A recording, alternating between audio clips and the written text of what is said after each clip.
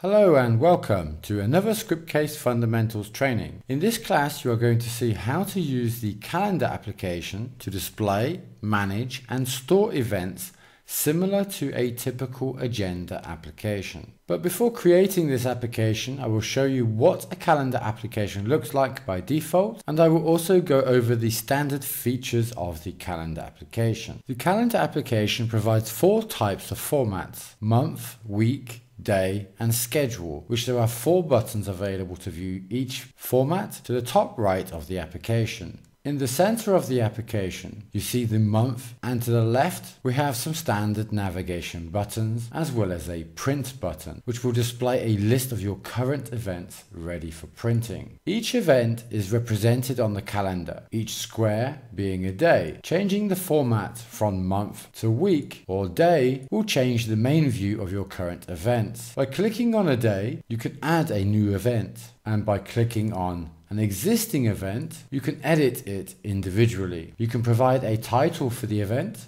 a description, provide an event category, and also set a specific color for your added event. The date and time indicating when the event will start and the event will end, and if it is also for a full day. If selecting a full day, the time fields will disappear. Below that, we can change the reoccurrence as well as the period, and we then also have the recurring information, which allows us to set when the event will be repeated. So at the bottom, you can add the new event, save an event, delete it, as well as exit the event information. When viewing the various calendar formats, you can also adjust the event, for instance within the current month view. You can drag events, automatically updating the event data. In the week view, you can adjust the date and time of an event by simply dragging the event to a different time slot. The same applies within the day view where you can drag events to different times and the event will be automatically updated within the database. Another important aspect to note is that when adding a new event,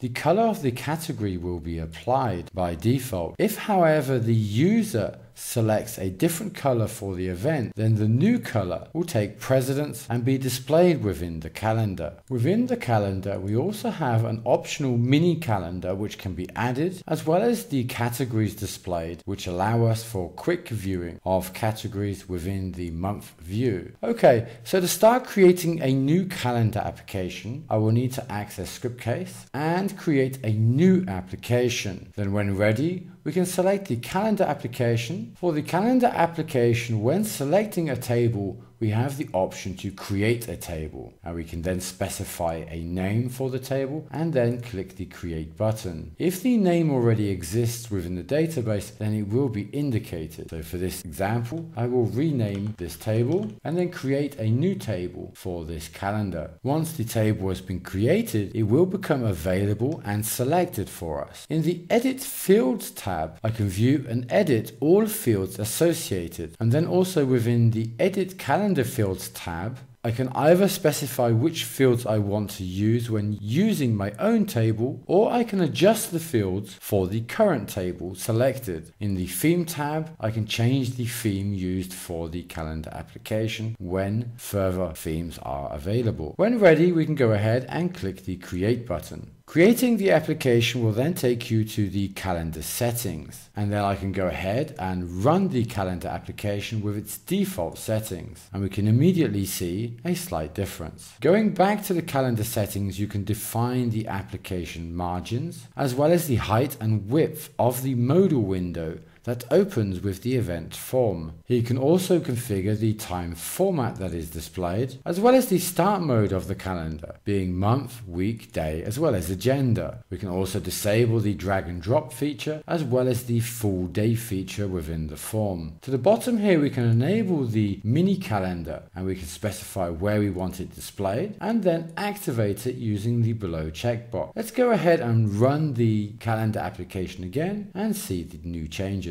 Returning back to the calendar settings, we can view some further options. We can indicate minimum time and maximum time limits, as well as hide the category field, provide a line break on the title, as well as then provide time intervals for the calendar. So for instance, if I set this calendar to only have events from 8 a.m. in the morning until 1800 hours in the day, being 6 p.m. Below the settings option, we have the calendar fields, which allows us to view the fields as well as settings for the calendar application. Accessing the calendar fields menu, you can define a description that will be displayed just after the title of each event, which is then included within the automatically created table fields, but not selected by default. All other fields you have configured during the creation of the calendar application should already be indicated correctly. Okay, so before I continue, let's access the form settings and review the available fields for the calendar application. The category field is a very important field, allowing for manual or automatic lookup, meaning that I could change the manual lookup here and apply an automatic lookup using the database. The database fields will need to contain the category name, the value, and also a color code. As you can see here on selecting one of the current categories, we have the label, value, value as well as the HTML color code. Below that, notice that there is also a